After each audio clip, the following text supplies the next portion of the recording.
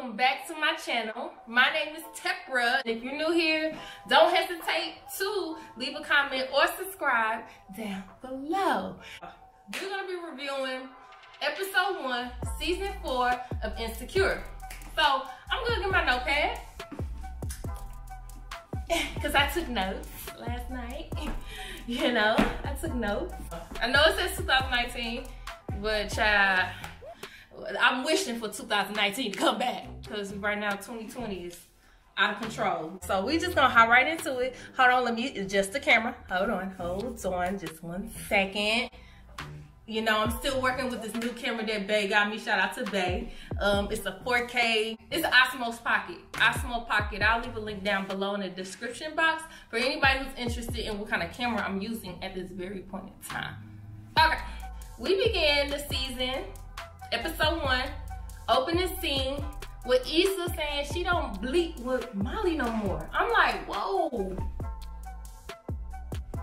You don't bleep with Molly no more. It's very foreshadowing. So everything that happens up to this point, all the way throughout the season, I think everybody just need to keep an eye out for details and just a little subtleties of what's really going on with Issa and Molly. Like I feel like Issa's like doing better, maybe spiritually, um, mentally, physically, because you know, like Molly came over with the yoga mats. I don't think we ever seen Issa work out. Have we ever seen her work out on the show? And we ended season three with her, like with the the Last Dragon um remix, and she got the glow type. But got that glow.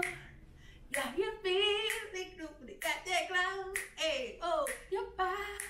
So that's how Issa ended her season three. And we began with her like kind of, and then, you know, she puffing on a little puff puff, you know, getting her mind right. So I'm like, okay, Issa, she doing her thing. She doing her thing. So I'm, I'm proud of Issa. I feel like we're going to see a lot of growth with Issa this season. Just based on just like kind of what she's been through and what she's been going through and how she's like moving forward. Hold on, Issa. She was the big fellas? She she she she messing with the big dudes. Issa hats off to you, girl, cause you know big dudes do do a better little heavyweight champ. You know what I'm saying? And he seemed like he really do care about her because Issa's been dealing with guys that's kind of like they kind of take, take, take, and it's not really no give or at all. And I just feel like Issa's been not getting used because Issa also be taking too. But she's been dealing with a lot of situations where the guys are taking and not really giving her anything back in return in terms of just like her her whole being not not producing to her whole being. So eat something new. She's stepping out of her box you know and she's she's just living life. So i hey Issa I feel you girl. Uh, Issa and Molly, they go to um, they go to this boutique or whatever to get an outfit for the mixer. You know, the day before, whatever, however many days before the mixer. I recognize Molly had said something to Issa. She was just like, "Yo, I'm bringing Asian Bae. I think his name is Drew. Drew, Drew. It's Drew, I think. And comment down below if I'm right, y'all. I'm wrong. Tell me, tell me if I'm wrong now. Molly's just like, yeah, I'm bringing Drew um, do you mind if Nathan comes to the mixer? And Issa's just like, no, I don't want him to come to the mixer. But at first I was like, dang, that's Molly's a good friend because she gave her friend a heads up, you know, and she let her know that she was gonna possibly bring somebody that Issa don't really mess with like that into her like home in her vicinity and at her her project. And I was like, okay, Molly, good heads up, good friend, good friend alert. But then I started to think about it. I was just like, um, does does Molly really like? Does Molly be hanging out with Nathan? You know, cause she hangs out with Drew, Asian Bae, and Asian Bae. I think they room together, him and Nathan. So it's just like I think Molly be low key kicking it with Nathan sometimes. But anyway, we're gonna fast forward to um Issa hanging out um, she got she's getting real cool with Condola. And yeah, I like Condola. Y'all like Condola? Leave a comment down below, like, what is who is the character that you most relate to on the show and, and why? Because I really like Condola. She's been there for Issa and they kind of got this like type of common bond with just like trying to help the community and being a person of the people.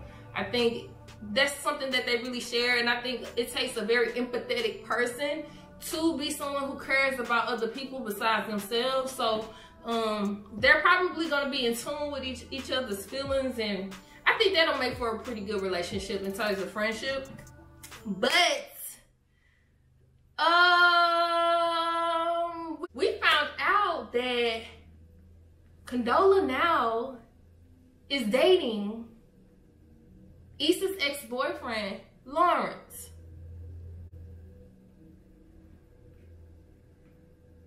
I mean, it's a very eco-friendly relationship. It's a lot of uh, recycling going on. But I feel, what would have been y'all reaction to Tiffany dropping that big bomb of a, of a secret to the two of them? Like, if you were Issa, how would you have like reacted to that? I'm gonna give y'all one second to uh, pause the video and then type your comment down below. I think Issa handled it, um, I think she handled it very perfectly because Condola didn't know that she was that. Condola didn't know Lawrence was Issa's ex ex boyfriend of five years. Um, but Tiffany sure as hell knew.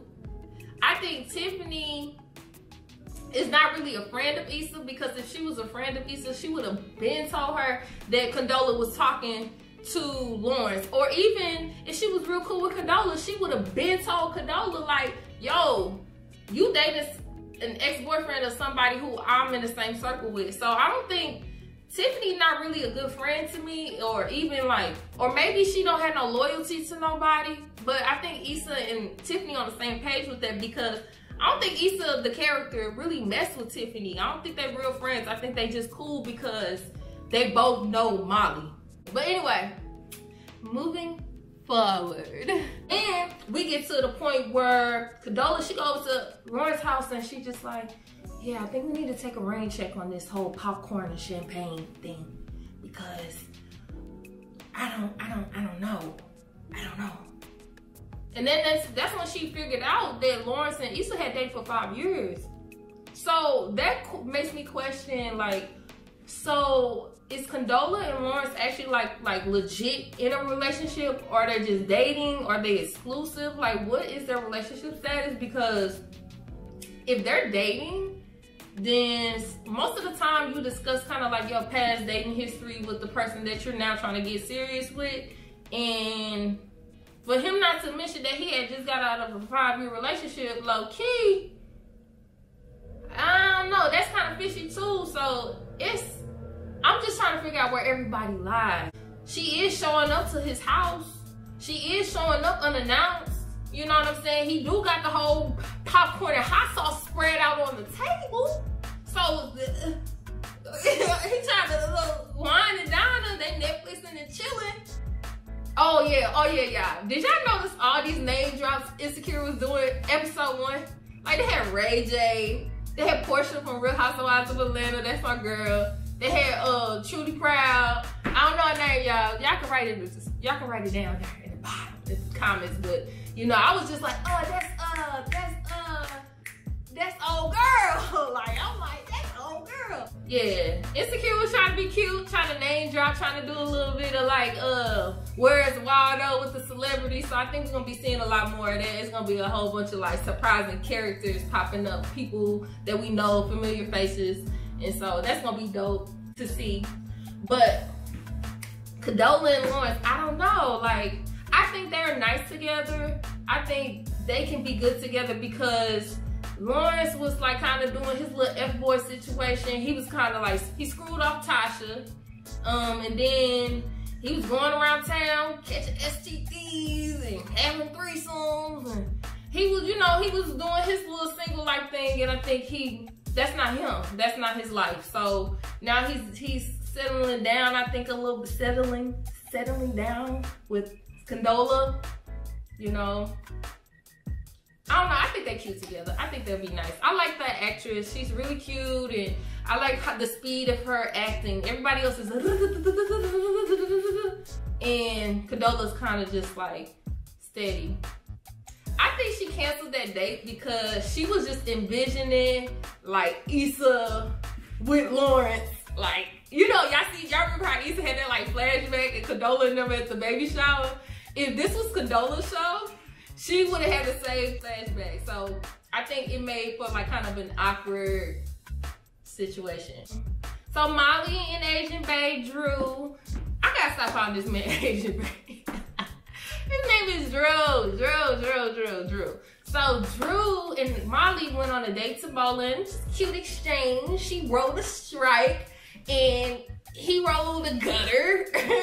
uh, but they was like being playful with it. Like he was just like, oh, if I get a strike, I get a kiss.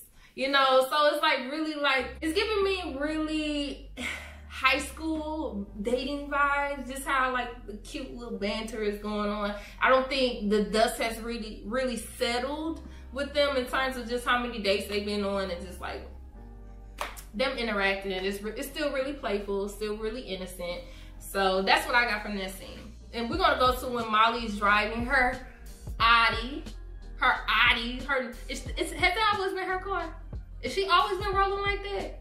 And Molly got some money. But anyway, she riding in her car with Drew in the passenger side. Da, da, da. She driving.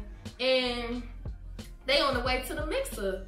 And do we know do we do we know what Drew does for like a living? Because I'm not I'm not too sure because he he he rooms with Nathan and then he's also riding with Molly. So I don't know, like does he is he financially at the same level as Molly? Do we know that yet? Well, anyway, that was just like my thought when she was driving him to the party. So Drew's still going on dates with other people on top of dating Molly. Um, and she kind of was taken aback. She was like, huh? And then he's like, yeah, I'm going on other dates. You know, he was honest about it. And she was just like, okay, me too. Me, me, me too. Like, playing from the Himalaya. Me too. I'm, I'm out here doing my stuff this too in reality, she probably is not dating other people. Molly gives me the vibes of a character that when she likes the guy, she's pretty focused on him and she's really like a one at a time type thing. I don't think she really takes on, on too much with her life in terms of just like her dating life. Like whenever we see her with somebody, she's always with somebody one at a time. Even when she was talking to Dro, ugh, I'm glad he's not on. I'm glad he is not on this season. Hopefully, we're gonna just fast forward to the mixer because that's that's just what we're gonna do. Once they get to the mixer, she got a whole attitude with Drew. Oh, but we also get to see a little bit more of Issa's new guy she's been talking to. He is so supportive of her. He out there like working for free for her, hyping everybody up, you know. And I like his character a lot. He's like really fun and he's really like, I don't know. He was just like, yeah, we turned up over here. Y'all come, come, come to the best. This is the best semester ever. This is the best party ever. Like he was lit. He was like trying to, he was doing, he was doing what he felt like he should have done for her to make the event better. Everything he was doing, it was like uh with good intention. So I like his character. He seems really like authentic. Molly comes into the party, the mixer, and then um she's doing her thing and Issa's just like, yeah, that's that's my that's my guy I've been talking to. That's somebody I've been talking to. And Molly's just like, oh, if you like it, I love it. That's another that's another like hating comment she made because it's just like Issa didn't ask you if you liked it or loved it. I don't know, something about Molly's like really negative and like very condescending sometimes and she always got something to say. So then we get to the point where Issa is still doing her little pitching. She's talking to people and she's not saying nothing really honestly to anybody to get anybody to sponsor the event she's trying to have. But she turns away from somebody she's talking to and goes to Molly. And Molly's kind of just like telling her like, girl, Drew, Andrew told me that he's dating other people. Like, what is what is that about? And Issa's just like, girl, I ain't got time for this kind of. She kind of brushed her off. Like, I really feel like Issa and Molly have been not cool since Malibu. Like, they ain't really been the same since Malibu.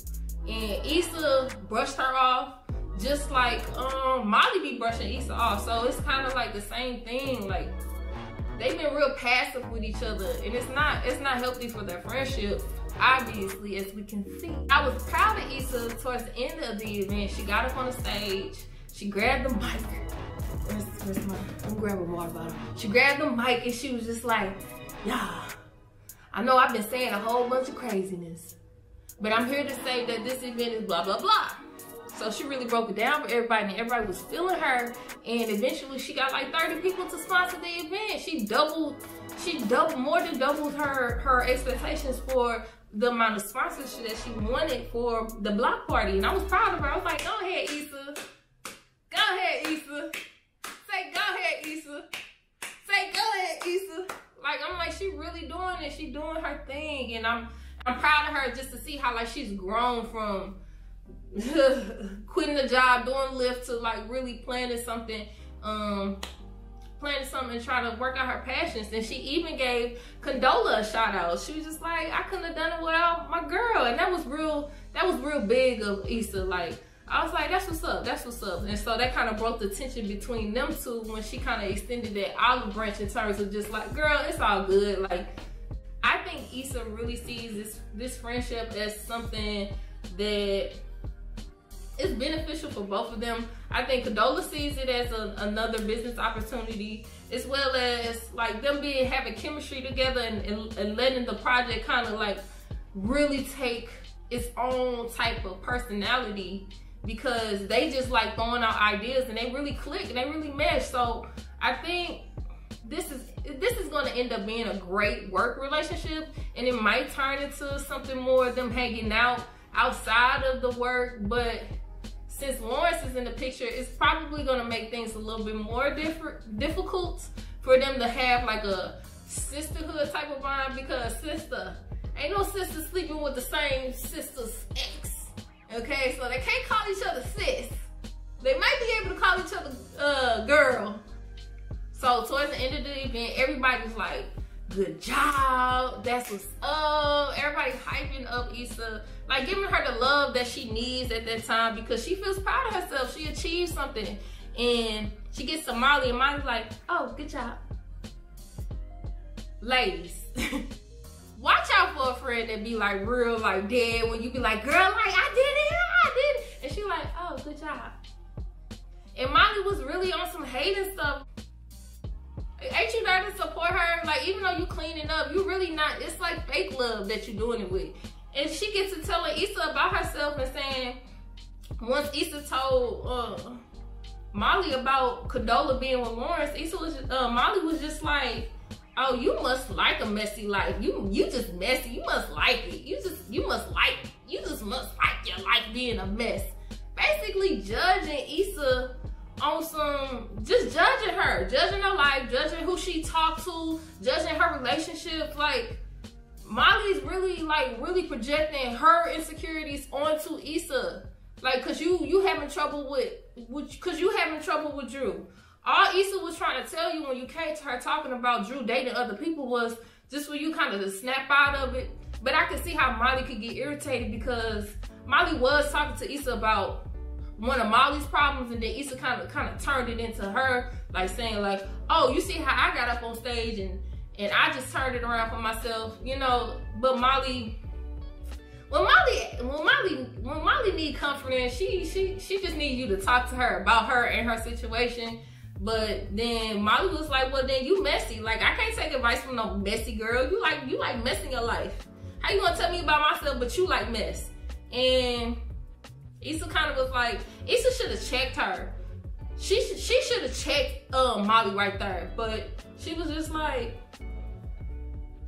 whatever. You're not gonna you're not gonna steal my joy. Like I really had a great night. You're not gonna kill my you're not gonna kill my vibe. I thought that like exchange was really interesting, and and I think that's gonna be one of the the main turning points to them not being cool no more. I hope they can get this together. I hope that they can really figure out what the root of the problem is and like kind of set up boundaries from one another so that they don't keep overstepping their boundaries because Issa is evolving. She's not taking the same you know, crazy comments that she was taking from Molly years ago when she was kind of like in her in her funk. Like Issa is evolving, meaning she's she's accepting different things in her life. She's tolerating different things in her life. She's not going to continue to allow Molly to make her feel bad about herself anymore. And Issa is finally feeling herself right now. So it's kind of like Molly is still the same Molly. Molly hasn't really grown much. Her character hasn't really grown much, I don't think. I think when she was doing her therapy, that was good for her. But other than that, she really hasn't developed a new I don't know. She hasn't developed. She hasn't been developing any more than that, and she's seeing Issa develop more, and she's hating on that. Um, so we'll see how that friendship goes. I want you guys to leave a comment down below, um, telling me what your predictions for this season how it's going to turn out. My prediction for the end of the season would be that Nathan's going to come back. Issa's going to have to have a conversation with Nathan, and then once Tiffany has this baby, like people are going to freak the out, okay? So I think that's gonna be like the climax of the season when that happens. So leave a comment down below on what you think is gonna happen this season. Also, um, don't forget to subscribe let me know if y'all like these videos. I will keep doing them if you like them. And y'all know, just like leave a little like or something. Share the video um, so we can discuss what's going on with this show because it's gonna get juicy. It's gonna get crazy. It's gonna get a little bit, I don't know. But I know it's gonna happen. So thank y'all for watching and getting to this point in the video. And I will see you all later. Bye.